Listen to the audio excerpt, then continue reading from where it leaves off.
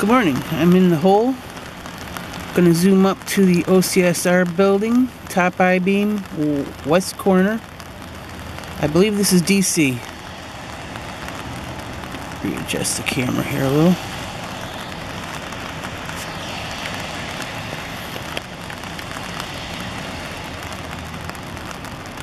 He was facing this way before.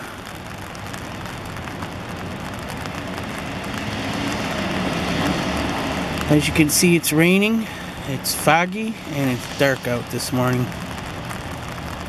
It's about 10 to 8. I've made my rounds around downtown. Come back to find him here.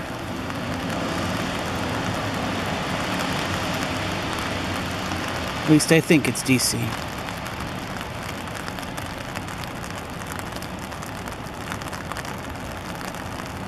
Hard to get clear pictures in these kind of conditions.